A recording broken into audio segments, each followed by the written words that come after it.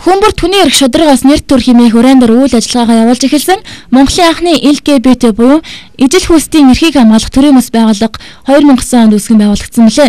Тэгвэл тус байгууллага дэлхийд хамгийн их эрхэн зөрчигдөж байгаа ижил хүйснүүдийн эрх зүй, нийгэмд эзлэх байр суурь, амьдралыг өгүүлсэн баримтат кино бүтээжээ. Тэдний бүтээсэн баримтат киноны нээлт өнөөдөр ертөнц кино театрт болсон юм а. Зориг төрх амьдраа гэдэг энэ киног олон улсын хүний гей лесбийн хүний эрхийн хороос гэдэг гаргасан байгаа. А энэ киног ямар зорилготой гаргасан бэ гэвэл 1990 онд Дэлхийн эрүүл мэндийн байгууллагаас одоо бэлгийн чиг баримжаа хүйсэн баримжаа илэрхийлэх одоо сэтгцийн өвчин биш өвчин бишээ гэдэг ингээд аль бие сарын жигсаалтыг хассан байгаа. А тэгээд тэр цагаас хойш ерөнхийдөө лесбийн гей бисексуал трансгендер хүмүүсийн эрхийг хамгаалах өдрөг одоо дэлхийд даяар 7 дахь удаа тэмдэглэж гэж байгаа. 2006 оноос эхлээд яг энэ өдөртөө давхцуулаад тэ.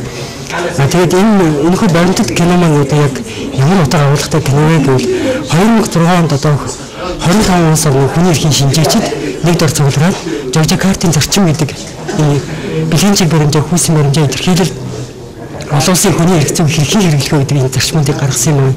Тэгээд энэхүү зарчмуудыг хэрхэн хэрэглэх талаар одоо өгүүлэх нөхөө баримт кино маань бол одоо гол утга агуулга нь бол энд оршиж байгаа юм л да. LGBT гэдэг нь бэлгийн чиг баримжаа болон хүүсийн баримжаа илэрхийлэмжийн цонх болох лесбиан буюу эмэгтэй ижил хүйстэн, гей буюу эрэгтэй ижил хүйстэн, бисексуал буюу аль аль хүйс татагдагч, трансгендер буюу өөрийн хүйсээ төрсөн хүйсээсээ өөрөөр тодорхойлдог хүмүүсийг нэрлэх олон улсын томьёо юм а. Юу нь ийм хүмүүс аливаа нийгэмд үргэлж гадуурхагдж, ердөө иргэнтэй харьцуулахад хувь хүний эрхээ бүрэн эдэлж чаддаггүй. Тиймээс тус байгууллага ийм хүмүүсийн эрхтгш байдлыг хүлээн зөвшөөрч, залуу үеийнхэнд тэднийг үл ялгуурлах, эрхийг нь бүрэн эдлүүлэхийн төлөө ялгуурлан гадуурхыг бүр мөсөн зохистой хөтөлбөрийн дагуу үйл ажиллагаагаа явуулсаар иржээ.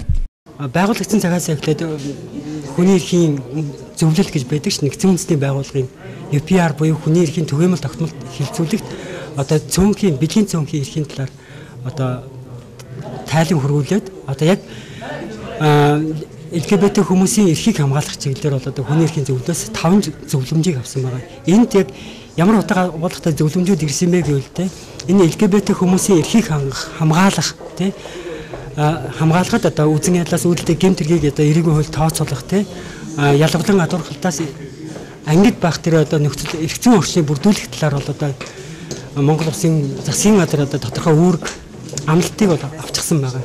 А тэгээд дээрэс нь манай үйл ажиллагаа маань болохоор ердөө Монголд анх удаа байгуулагдсан хүний эрхийн буюу LGBT хүний эрхийн байгууллага гэдэг утгаар бол нэлээд одоо энэ чиглэлээр үйл ажиллагаа явуулаад одоо цаашдаа ч гэсэн одоо нэлээд үйл ажиллагаануудыг төлөвлөж байгаа.